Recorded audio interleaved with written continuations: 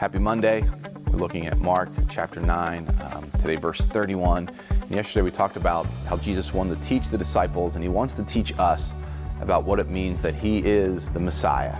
And here's what he says He was teaching his disciples and telling them, The Son of Man is to be handed over to men, and they will kill him.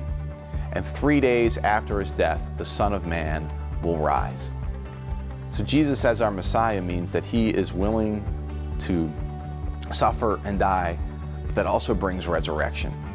And it's a reminder to us that um, we need to be willing to sacrifice, to suffer, and that whatever we give up, God will raise up um, through His through His efforts and through His power. So let's pray for that grace. Heavenly Father, help us to follow, follow your Son, who did give Himself up for our benefit and well-being. Help us to be willing to sacrifice our lives for the good of others, knowing that you will raise us up. In Jesus' name we pray. Amen.